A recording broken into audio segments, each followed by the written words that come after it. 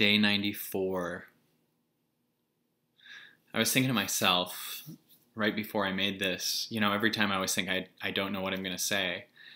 And I was talking to my team tonight about my event, which, as I shoot this video, is coming up this weekend, January 30th and 31st. We have this sold out 1,400 seat event. And one of the things Carrie, my assistant, said is that um, when I do a thing where I take someone up onto the stage, I get all kinds of new content comes out of me because I get very specific about that person's specific issues. And she's right. Whenever I do something and I get very specific, like someone says, I'm, I'm scared about this one thing, I can suddenly do a half an hour of content all of a sudden. And the reason is because that person gave me a specific thing to talk about. And why this is so huge is because, and I, I talk about this at events, and I, I, guess I don't think I've done this in any of the videos, so it's just coming up to me to talk about this here. We have an infinite amount of things that we could talk about, that we could write a book about, that we could whatever. And one of the reasons it's hard to come up with things, most people think I don't have anything. And what they don't know is actually happening is when they think, what do I write about? All kinds of ideas show up at the surface and they usually skip over them and keep going and going because they're trying to find the right thing, whatever their mind has qualified as the right thing to talk about. And what my point is, is that it's not that you have nothing to say, it's that we all have way too many things to say. There is such an unlimited, infinite amount of content that you have for the rest of your life. Like you could be talking all the time. And the reason I, I mean talking is like whenever you're looking for an idea, you have an infinite amount of ideas. You just got to get specific. So I always talk to people at my events and I say, you know, if you're talking about trying to come up with writing a book, you're, you, uh, most people get stumped. But if you were like, I'm going to write about my dad, you start to narrow it down. And if you say, I'm going to write about my dad when I was 16 and he took me to Denny's once, all of a sudden you make it much more narrow and you suddenly will have more content. So the smaller the category that you talk about, the more content you'll have. Most people try to keep their field wide open and then it's too overwhelming so they can't come up with anything because they just kind of go into the beginnings of each thing and then say, eh, that's not the right thing.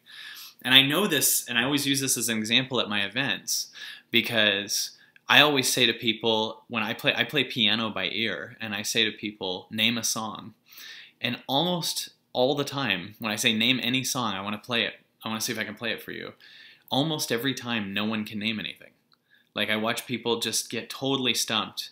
And it's fascinating because there's 92 million songs. And people go, I don't I don't know what to talk about. I don't know what song I don't know what song to say. If I say name a Michael Jackson song, I get an answer much faster. If I say name a Michael Jackson song on the Thriller album, I'll get an answer even quicker because I'm narrowing it down. So when they had 92 million songs to choose from, they couldn't do it. When they had eight songs to choose from, they could really quickly. If I said choose one, Billie Jean or Beat It, they would have an answer really quickly. So it's fascinating because we trick ourselves into thinking that we have nothing to give to the world. We have nothing to say. We have no content. We have nothing. And the truth is, we have so many things. However long you've been alive is how much experience you have. Every second of your life was experience, was growth. And most people, many people think, nah, not for me. I just sat on the couch and watched TV most of my life or whatever. And they don't understand that's an experience that's an experience that you sat on the couch. That's content. That's you could be making a youtube series reviewing tv shows and you know someone like roger ebert made a career out of that you know? He could just say well all i do is watch movies. There's no value in me. No there's a ton of value in you. You you can be a critic. You can tell other people that are going to go spend their money at the movies how to have a better night by going to one that you recommend and why you recommend it so even if you spent 30 years having an incredible relationship, you have information that people need. And if you spent 30 years getting out of relationships over and over and over again, you have a book right there on how to bounce back. So you could have like how to have the greatest relationship, how to bounce out bounce back when you go through a breakup, how to keep going, how to let go of someone, whatever it is, you have an infinite amount of content. And I love to work with people. I do a lot of little small group retreats and I show them how to break it down and I'll ask them to write out all these things that they love and all these things that they are good at and that they know. And almost always it starts out very slow, but the farther they go in, the more that comes out so they write faster and faster and faster. Once they get you'd think after 20 minutes they'd run out of things but they get more and more and more. And when i do my events i speak for two full days for 10 hours a day usually maybe 8 to 10 hours a day and people always go i don't know how you get so much material and I'm going, because I keep going. And it gets easier and easier and easier to find material the longer I go. I've done seven day retreats. And when I get to day four, I have so much content that's coming through. And it's because I went deeper and deeper and deeper. So think of the idea sphere or the things that you have as like an ocean.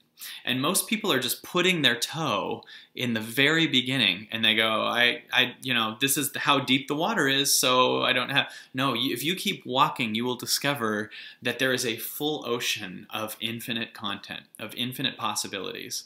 And the only reason you have a hard time is because how do you pick? And this entire ocean. Well, what you do is you just pick one thing and start talking about it. You could get up to your neck in the ocean and just grab a crab and go, I'm going to talk about this crab for, for a while and write an entire book on this one crab. Well, you know how much life and how much everything is in that ocean. So all you have to do is understand that this place, this invisible place that all your ideas come from, all your infinite content, is like this ocean. And most people don't tap into this world. They tap into the physical world. They tap into the world of what they already see. And that's really boring because you're taking content that's already been put out into the world and re-showing it. So when people are trying to make their company big and they go, how do I do it? And then they do what another company already did, you're just handing the world what it already has. But understand that in the invisible world, there is an ocean of infinite possibilities that is waiting for you to grab it and bring it into form. New possibilities of ideas and all kinds of different things that are like sitting around floating behind you, waiting for you to bring it into form. And it's all there, and all you have to do is grab anything and you don't have to get choosy about which thing even because everything is equal content. You going, is it this thing or is this thing, makes the thing bigger than you. And your job is instead to just get excited about grabbing anything and writing a book about it or writing, you know, doing a podcast out of it. It doesn't matter what it is. Taking anything and talking about it for a while, it'll eventually become your passion a lot of times people think passion drives action and also action drives passion. If you do one thing over and over and over and over again with anything, you could pick anything in your house. Look around your house, find anything, and you'll find that there's a history about the thing that you're looking at. Like I'm looking at a vase right now, and immediately my mind goes, oh, you could write a book on vases. You could go research it. I won't at all. There's no interest in that. But I'm saying a human could. And when people are like, how do I create and tap into it? Pick anything. Anything, the first thing that shows up, because you're gonna have infinite. It's people always go, "Wow, you always know what to say right away." No, I'm just saying the first thing that shows up. There was a sea of an infinite of other other things that could have shown up. That just showed up first, so I'm using it. So I'm just using whatever just pops right into my face and then saying it. So understand every human being has that. And all you have to do is just enjoy getting specific and going with whatever shows up, and that you have an infinite amount of things that you could write about, talk about. Um, you know, all these ideas are here for you to create and bring yourself from this invisible realm into the into the real into the visual world and it's available for all of us. It's called using your imagination, and we were taught that on, probably in preschool, and then they stopped telling us to use that at like kindergarten and through through college. Now stop using your imagination because I want to tell you about all the crap that already exists. Take a history class, take a class on math. Here's here's what already exists. Screw your imagination. Don't daydream. Don't do anything like that because we want people to just learn how to follow authority and become obedient workers. It's kind of true. So know that you have that imagination already available. You have an imagination that is available. Even if you didn't use it for the last 50 years it's there right now. And all you have to do is just go what do i want to bring into form? What do i want to talk about? And sit and connect. And the more you meditate the more you'll just start seeing stuff all over the place in the invisible world. And you'll just grab it and bring it into form. So i guess that's what i was talking about today. Day 94